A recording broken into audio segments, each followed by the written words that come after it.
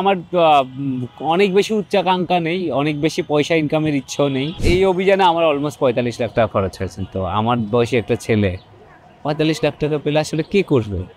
গাড়ি কিনবে, বাড়ি কিনবে, ওই জায়গায় আমি এমন একটা স্পোর্টসের সাথে জড়িত যেটাতে খানিকটা ভুল হলেই হয়, মৃত্যু হতে পারে অথবা বড় দুর্ঘটনা হতে পারে। মাউন্টেনিং খুব expensive sports in a sense যে যে কাপড় চোপড় লাগে, যে সরঞ্জাম লাগে, সবই এক্সপেন্সিভ এই মুহূর্তে ঠিকঠাকভাবে দেশে ফিরেছি। এটা নিঃসন্দেহে ভালো অনুভূতি চেনা লোকজন, পছন্দের লোকজন যারা আছে, ওদের সাথে দেখা হচ্ছে। এটা ভালো অনুভূতি, আবার একটু অকওয়ার্ডও ইন এ সেন্স যে লোকে এসে ছবি তুলতে না- নানান কোয়েশ্চেন করে। আমি ওইগুলোতে একটু অনভ্যস্ত, এই জন্য খানিকটা অকওয়ার্ড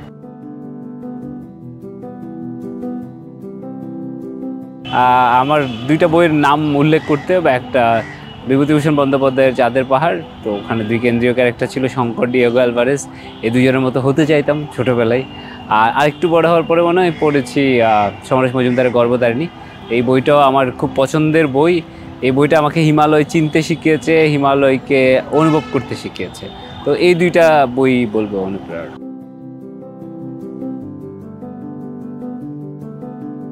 পাহাড় পর্বত, আমি ফিজিক্যালি পাহাড়ে যাই আসলে দুই হাজার দশ সালে। এর আগ পর্যন্ত বইয়ের পাতায় মানস ভ্রমণ চলছিল আর কি।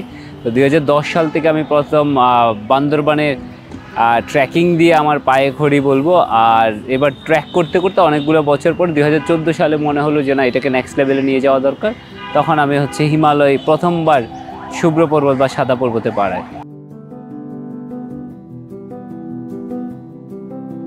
তাদের জন্য হচ্ছে এটা ধাপে ধাপে এগোনোর ব্যাপার। এটা আজকে মনে হলো, কালকে চলে গেলাম। এটা খুবই সুইসাইডাল ডিসিশন হবে।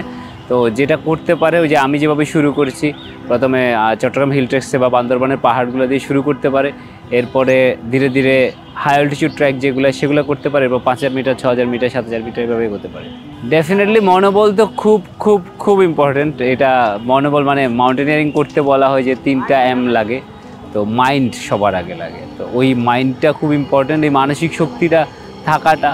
কারণ এই মানসিক শক্তির টেস্ট হচ্ছে পুরা অভিযানে অসংখ্যবার হয় এটা খুব ইম্পর্ট্যান্ট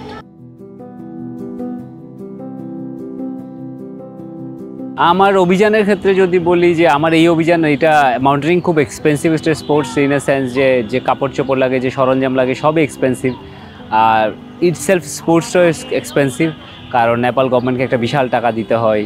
তো কেউ যদি মানে মাউন্টেনিং একটু আগে বলছিলাম যে আপনি মনোবলের কথা জিজ্ঞাসা করেছিলেন থ্রি এম লাগে মাইন্ড লাগে মাসল বা অ্যান্ডুরেন্স লাগে, আর লাস্টলি মানি লাগে।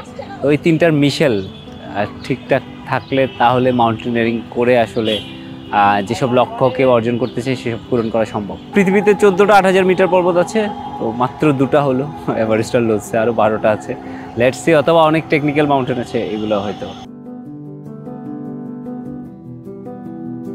আমার অনেক বেশি উচ্চাকাঙ্ক্ষা নেই, অনেক বেশি পয়সা ইনকামের ইচ্ছেও নেই এখান থেকে। আমি আমার জাস্ট একটু সবসময় চ্যালেঞ্জিং জব পছন্দ করি। নতুন জায়গায় পোস্টিং হলে আমি খুব খুশি হই, নতুন জায়গা দেখার সুযোগ হয় চাকরিটাও যাতে আমার আমার মানে সামনে যা যা যা চাকরি করব সেটাও যেন অ্যাডভেঞ্চার হয়ে যায় পেশাগত জীবনে এই মুহূর্তে যদি আমি বলি হচ্ছে একটু ব্যস্ততাটা কমলে আমি যদিও পাবলিক হেলথের লোক কিন্তু আমার বাবা মা চায় আমি কদিন চেম্বার করি, আমি বাবা মায়ের এই ইচ্ছেটুকু পূরণ করার চেষ্টা করব এরপরে।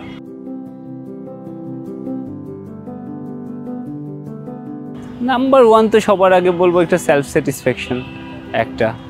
আর এটা অনেকে জিজ্ঞাসা করে যে ব্যক্তিগত অর্জন ছাড়াও আর কি, যে মানে এটা তো ডেফিনেটলি এই আনন্দটুকু, এটার আনন্দ, এটা পৃথিবীর অন্য কোনো পার্থিব আনন্দের সাথে এটা মেলানো যাবে না, টাকা এর আনন্দ বা এগুলোর সাথে মেলানো যাবে না। আর উঠলে যদি আমি বলি সামগ্রিকভাবে লাভ হয় যে আমি বিশ্বাস করি যে আমি কোনো চূড়ায় উঠলে আমার দেশটাও খানিকটা ওপরে ওঠে।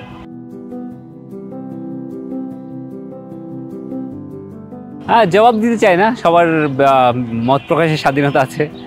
আর ওদের সবারই প্রত্যেকের ব্যক্তিগতভাবে মত প্রকাশের স্বাধীনতা আছে। আবার এটাও সত্যি, তাদেরকে এটাও জানাতে চাই অবশ্য যে আমারও স্বাধীনভাবে চলার হচ্ছে সেই অধিকার আছে। আর কি এটা আর যদি একটু করে ওদেরকে একটু, যদি একটু ছোট্ট করে বলি আর কি বলার লোভটা সামলানো যাচ্ছে না। এই অভিযানে আমার অলমোস্ট পঁয়তাল্লিশ লাখ টাকা খরচ হয়েছে। তো আমার বয়সী একটা ছেলে, পঁয়তাল্লিশ লাখ টাকা পেলে আসলে কি করবে? গাড়ি কিনবে, বাড়ি কিনবে, ওই জায়গায় আমি এমন একটা স্পোর্টসের সাথে জড়িত যেটাতে খানিকটা ভুল হলেই হয় মৃত্যু হতে পারে অথবা বড় দুর্ঘটনা হতে পারে। এটার জন্য আমি শারীরিক শ্রম দিচ্ছি, মানসিক শ্রম দিচ্ছি।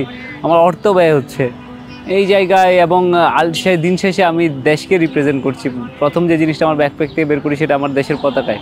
তো এইটুকু বোধ মনে হয় সবার থাকা দরকার যে এই এই ধরনের খেলার মাধ্যমে দেশকে রিপ্রেজেন্ট করা যায়।